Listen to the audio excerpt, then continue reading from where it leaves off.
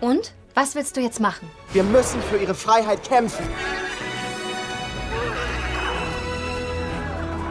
Der Film steigt ein mit einer riesigen Actionsequenz, weil man ist mittendrin im Geschehen.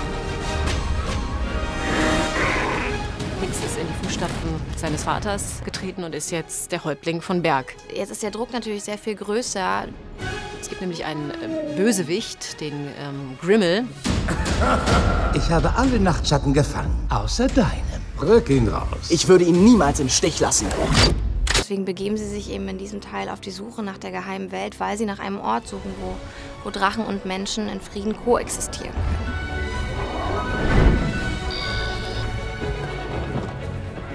ist wahrscheinlich eine der äh, süßesten Flirtszenen, die es je in der Filmgeschichte gegeben hat.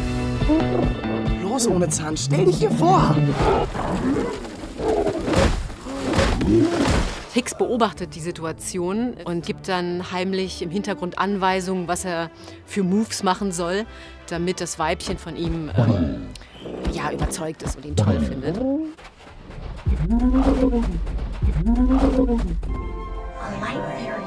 Jetzt hat sich wirklich deutlich verändert, dass Astrid sehr, sehr viel liebevoller und zarter geworden ist. Ein Tagschatten. Ja, dein Name klingt irgendwie besser.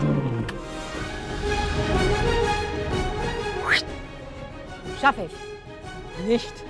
Hat hier jemand Hunger? Come on! Ich bin fix und fertig.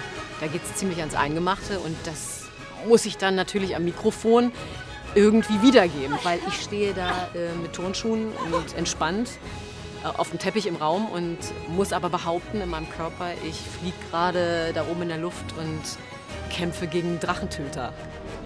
Hallo.